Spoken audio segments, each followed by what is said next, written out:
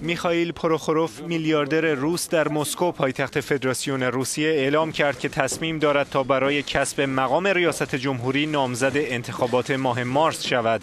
این مدیر بزرگترین شرکت تولید کننده طلا در روسیه در یک نشست خبری گفت من احساس آرامش می کنم با دیدن این واقعیت که جامعه به خود بازگشته است.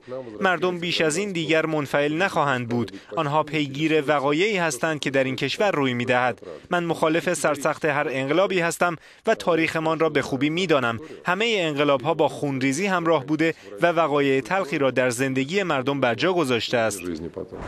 سوی دیگر الکسی کودرین وزیر اقتصاد پیشین دولت فدراسیون روسیه نیز در گفتگو با یکی از روزنامه های چاپ مسکو گفت که نتیجه انتخابات پارلمانی می تواند بیانگر ضرورت تشکیل یک حزب دست راستی باشد. وی با تاکید بر جای خالی یک حزب راستگرا برای یاری برپایی حزب لیبرال دموکرات اعلام آمادگی کرد.